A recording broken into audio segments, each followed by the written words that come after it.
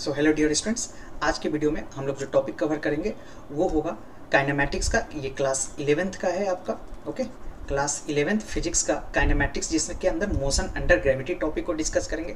हमारा कोशिश ये होगा कि पाँच से दस मिनट में आपको इसके सारे कॉन्सेप्ट्स इस वीडियो में बता दूँ ओके तो इस वीडियो में मैं पूरा कॉन्सेप्ट सिखा दूँगा और अगले वीडियो में इस पर बेस्ट न्यूमेरिकल तो सबसे पहला क्वेश्चन आता है मोशन अंडर ग्रेविटी ये कब होता है? तो दिस देखिए this is acceleration produced by a body by the force of gravity is called acceleration due to gravity होता क्या है बेसिकली कोई भी ऑब्जेक्ट जब अर्थ की ओर सपोज़ ये हमारा अर्थ है तो अर्थ की ओर जब कोई भी बॉडी आता है तो अर्थ उसको अपनी ओर एक एक्सलेशन से खींचता है, जिसकी वैल्यू होता है जी और इसमें हमेशा ध्यान रखिएगा जी का वैल्यू होता है एग्जैक्ट वैल्यू 9.8 मीटर पर सेकेंड स्क्वायर होता है।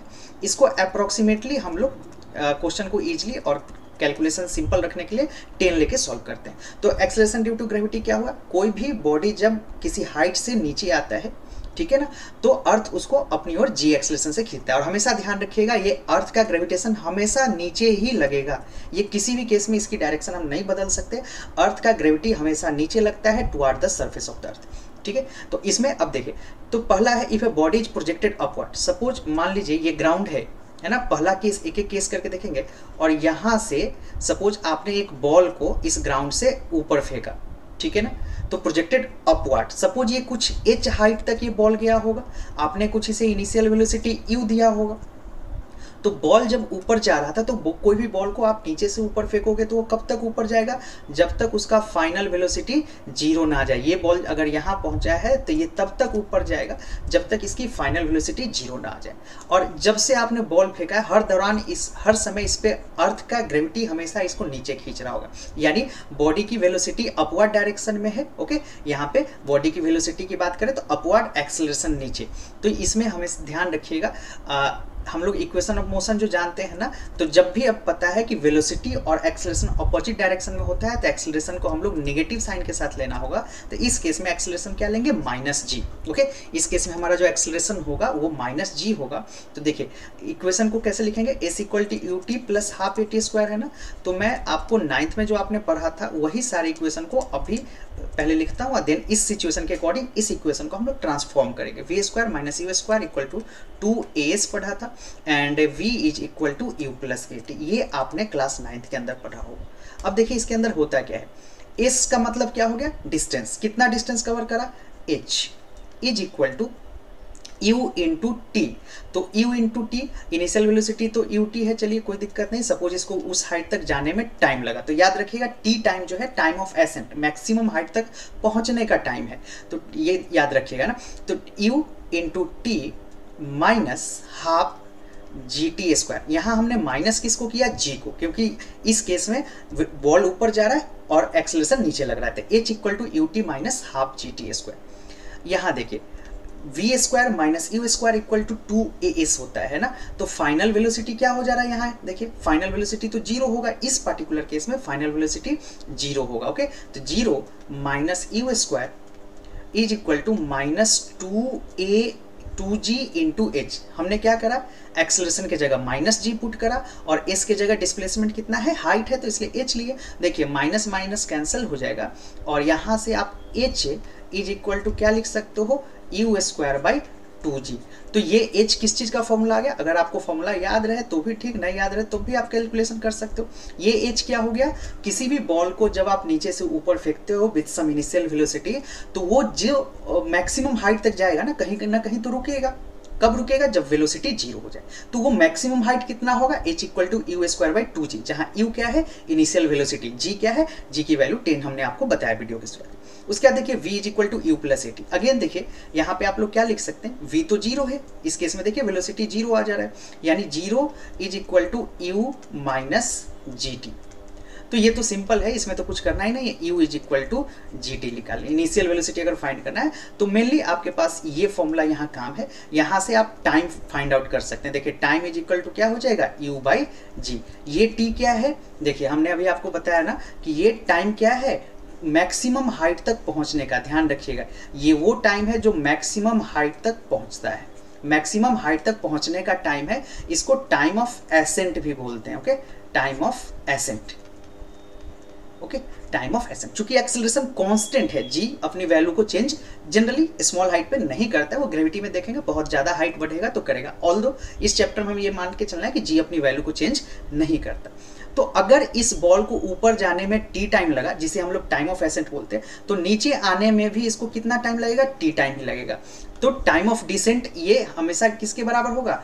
Time of ascent is equal to time of descent नीचे आने का भी टाइम बराबर होगा। Time of descent okay? तो ये ध्यान रखिएगा मैक्सिमम हाइट जाने में कितना टाइम लगा? यू बाई जी जितना टाइम जाने में लगेगा, उतना ही टाइम वापस आने में। तो अगर मैं आपसे पूछूँ कि टोटल टाइम कितना लगा? Total time of flight total time of flight total time of flight कितना हो जाएगा? तो टी इज़ इक्वल टू जाने का टाइम और आने का टाइम यानी टी प्लस टी कितना हो जाएगा? टू टी और t की वैल्यू आपने पता कर रखा है तो टू यू बाई जी ये आप ध्यान रखें ये तीन दो कॉन्सेप्ट बेसिकली काम का है इसमें।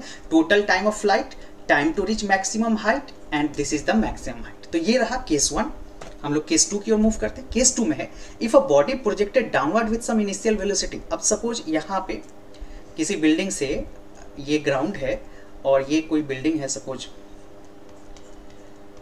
इस बिल्डिंग से आपने एक बॉल को यू वेलोसिटी से नीचे फेंका। तो आपने तो यू वेलोसिटी से नीचे फेंका, लेकिन इस बॉल पे एक ग्रेविटेशनल एक्सेशन जी भी तो काम करेगा। तो इस केस में देखिए यू और जी कैसा है? मतलब वेलोसिटी और एक्सेलरेशन सेम डायरेक्शन में। तो जब भी वेलोसिटी और एक्सेलरेशन सेम डायरेक्शन में होता है तो हम लोग क्या करते हैं? साइन पॉजिटिव लेते हैं। ये आपने पढ़ा भी होगा। एक्सेलरेशन निगेटिव कब होता है? जब वो वेलोसिटी के उल्टे डायरेक्शन में लगे है ना? तो वी और यू सेम डायरेक्शन में होगा। तो यहाँ सिंपल है। आप आ, कोई भी फॉर्मूला देखिए यहाँ पे। देखिए एक तो हम लोग निकालते हैं v is equal to u plus a t तो इस इक्वेशन को आप कैसे लिख सकते हैं? V is equal to u minus u plus g t simple इसमें तो कुछ करने की ज़रूरत नहीं। S is equal to u t plus half a t square ठीक है? तो s का मतलब क्या हो गया? सपोज़ ये बिल्डिंग h हाइट तक था तो डिस्प्लेसमेंट कितना? H. इनिशियल वेलोसिटी क्या है? इनिशियल वेलोसिटी u है तो आपको ut ही रखना होगा। Ut minus plus half g t square तो इसमें कुछ भी खास नहीं है। सेम वही सारी चीज़ें हैं।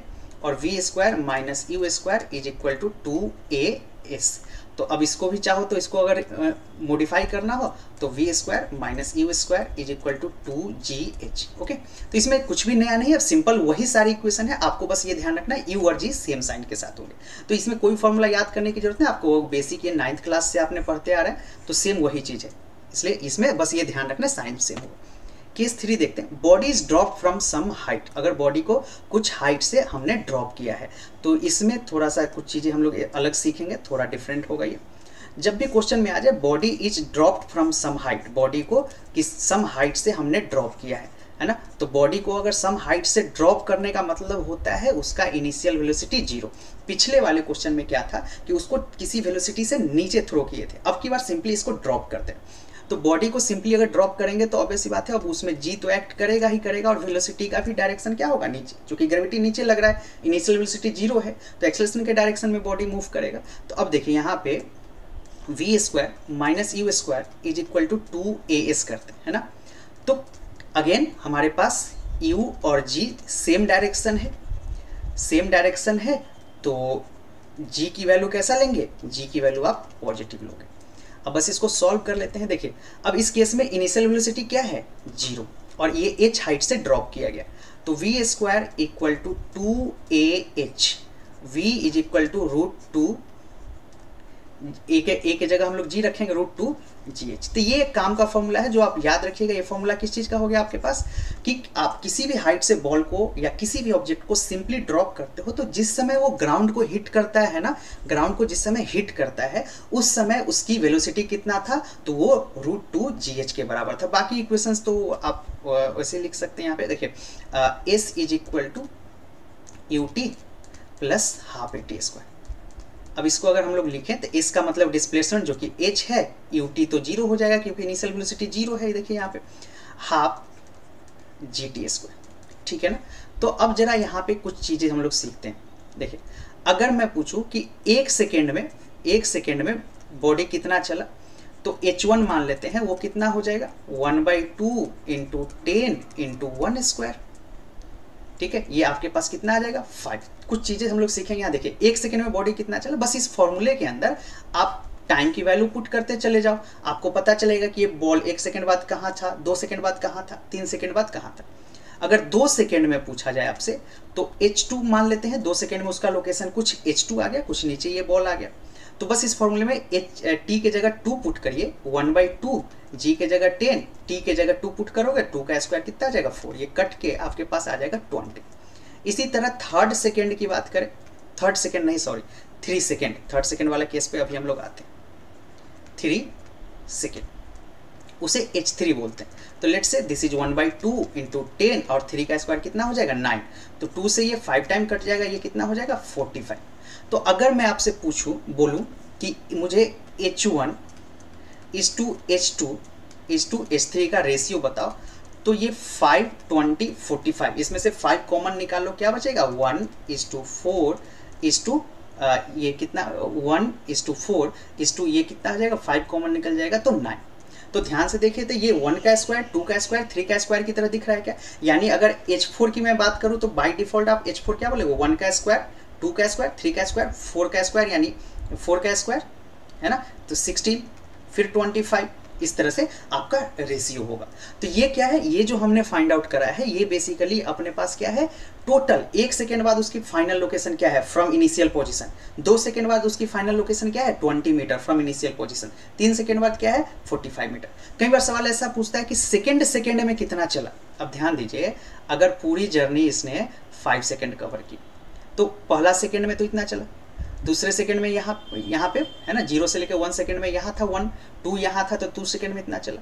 थर्ड सेकंड में मान लीजिए यहाँ था। तो जब बोला जाए सेकंड सेकंड में कितना चला सेकेंड सेकेंड में कितना चला इट मीन्स क्या? कि वो पार्टिकुलर एक इंटरवल ऑफ़ टाइम की बात की कि सिर्फ़ इतने में वो कितना चला तो ये कैसे निकालोगे? तो आप कैसे देखें सेकेंड सेकेंड का कैसे निकालते हैं फॉर्मूला देखिए। एनथ सेकेंड में बॉडी कितना चला तो आप सीधा एन माइनस वन करें ये ध्यान रखें एनथ सेकेंड, यानी मान लीजिए आपसे पूछा जाए, फ़र्स्ट सेकेंड में बॉडी कितना चला? ठीक है? फ़र्स्ट सेकेंड में बॉडी कितना चला? तो वन माइनस वन, यानी ये तो सिंपल फाइव ही रह जाएगा। सेकेंड सेकेंड में, सिर्फ़ दूसरे सेकेंड में बॉडी कितना चला तो क्या करेंगे? टू माइनस वन, यानी दूसरे सेकंड में जो चला, देखिए सेकंड सेकंड एन के जगह आप टाइम पुट कर दोगे एन यहाँ क्या है टाइम तो सेकंड सेकंड में पूछा है तो टू माइनस वन तो दूसरे सेकंड में बॉडी कितना चला, बीस. पहले सेकंड में कितना चला फाइव दोनों को आपस में माइनस कर दो तो कितना आ जाएगा फिफ्टी इसी तरह अगर बोला जाए थर्ड सेकेंड में बॉडी कितना चला तो थर्ड सेकेंड का मतलब आप क्या करोगे three minus one three minus one three minus one कितना? तो देखिए थर्ड सेकेंड में बॉडी कितना चलेगा? ये देखिए, आप क्या करोगे? इन दोनों को आपस में माइनस कर दो। तो 45 five minus forty five minus twenty कितना हो जाएगा? 25 तो यहाँ आप देखो अगर ध्यान से तो यहाँ आपके पास दिखेगा फाइव कॉमन निकाल ले तो अगर रेशियो निकालना हो तो यहाँ आप तीनों को मिला के आप रेशियो क्या लिख सकते हो? One is to two is to sorry one is to three is to five सबसे फाइव कॉमन निकाली लीजिए तो थ्री और फाइव यहाँ ऑड में. तो इनथ सेकेंड में सेकेंड सेकेंड में थर्ड सेकेंड में फोर्थ सेकेंड में कितना चला? तो ये हमेशा ऑड मल्टीपल होगा. ओके ऑड मल्टीपल ओके तो दोनों में आपको डिफरेंस पता होना चाहिए। ये जो है, इसमें हम लोग इनिशियल पोजीशन से सारा डिस्टेंस मेजर कर रहे हैं। इसमें एक पार्टिकुलर इंटरवल ऑफ़ टाइम की बात कर रहे हैं, जिसमें किसी पार्टिकुलर सेकेंड में बॉडी कितना चला सपोज़ चौथे में रेशियो पूछता तो रेशियो हम लोग करते कितना? सेवन फिर नाइन इलेवन इसके अकॉर्डिंग ये रेशियो बढ़ता चला जाएगा ऑड की तरह ऑड नंबर की तरह। तो ये केस थर्ड रहा, इसमें ध्यान रखिएगा। अगले वीडियो में जब हम लोग इस पर न्यूमेरिकल लेंगे तो आपको और भी क्रिस्टल क्लियर हो जाएगा कॉन्सेप्ट अभी आप फॉर्मूला और कॉन्सेप्ट कैसे बना है ये आपको सीखना है। नेक्स्ट वीडियो में हम लोग क्वेश्चन करेंगे। Case four if a body is projected upward with some initial velocity अब इसको भी देखिए। अगर ये सपोज़ एक बिल्डिंग है, और यहाँ से किसी ने बॉल को ऊपर फेंका है, किसी ने बॉल को ऊपर फेंका था अब ये देखिए बॉल कैसे जाएगा। बॉल पहले तो जाएगा ऊपर, फिर उसकी वेलोसिटी ज़ीरो होगा तो आएगा नीचे। मान लेते हैं ये बिल्डिंग का हाइट एच है। तो ये बॉल यहाँ से यहाँ तक जो गया, उस हाइट को मैं एच बोल रहा हूँ। ठीक है ना? जहाँ से ये लड़का खड़ा है, यहाँ से इस हाइट को मैं एच बोल रहा हूँ। तो अगर मैं इसमें बोलूँ कि बॉल का टोटल डिस्प्लेसमेंट कितना है तो total displacement of the ball आप क्या बताओगे? बॉल का डिस्प्लेसमेंट मतलब क्या होता है? बॉल शुरू कहाँ से क्या था? यहाँ से। खत्म कहाँ किया? ग्राउंड पे। तो ये डिस्टेंस ऑलरेडी कैपिटल एच है। बट इसी क्वेश्चन में आपसे पूछा जाए टोटल डिस्टेंस टोटल डिस्टेंस पूछा जाए तो देखिए एच तो ये रहा, उसके बाद सम डिस्टेंस ये स्मॉल एच ऊपर गया, फिर नीचे आया। यानी टोटल डिस्टेंस में एच एच तो ऑलरेडी ये ऊपर था तो यहाँ से एच ऊपर गया, फिर एच नीचे आया, उसके बाद कैपिटल एच नीचे आया। यानी एच ऊपर गया, फिर एच बिल्डिंग के हाइट तक नीचे आया, उसके बाद फाइनली वो ग्राउंड पे आने के लिए फिर से कैपिटल एच चला। तो ध्यान रखिएगा टोटल डिस्टेंस अगर पूछा जाए तो एच प्लस टू एच हो यहाँ पे आप क्या करेंगे? क्योंकि बॉल को यहाँ से फेंका गया तो इसको ओरिजिन मान लेंगे, यहाँ पे साइन अप नेगेटिव लेंगे, ऊपर का साइन अप पॉजिटिव लेंगे। तो बस यहाँ आपको एक इक्वेशन ध्यान रखना है। S is equal to u t plus half a t square को इस कंडीशन के अकॉर्डिंग कैसे लिखेंगे? इसके जगह हम लोग करेंगे माइनस है चूँकि वो छत से जब खड़ा होकर फेंका है तो नीचे वाले को हम निगेटिव माने हैं। तो ये क्या होगा? माइनस कैपिटल एच यहाँ स्मॉल एच कैपिटल एच में फ़र्क ध्यान रखना है आपको ओके स्मॉल एच है बिल्डिंग पे खड़ा था, उससे वो मैक्सिमम हाइट तक गया वो। यू टी कुछ इनिशियल वेलोसिटी यू के साथ तो फेंका है u t minus half g t square okay तो इसको आप फर्दर इसमें आप सॉल्व कर लेंगे, है ना? तो यही इक्वेशन ध्यान रखेंगे, इस इक्वेशन के अकॉर्डिंग हम लोग न्यूमेरिकल सॉल्व करते हैं। तो ये सारे कॉन्सेप्ट है सिंपल आपको मोशन अंडर ग्रेविटी के। सो नेक्स्ट वीडियो में हम लोग इसका क्वेश्चन करेंगे ओके और कुछ दिन बाद अगर वीडियो आया तो इसी में मैं लिंक भी अटैच कर दूँगा। सो मिलते हैं नेक्स्ट वीडियो में। Thank you and thanks for watching जहाँ भी आपको नेट लगे, आप स्क्रीन ले लेना ओके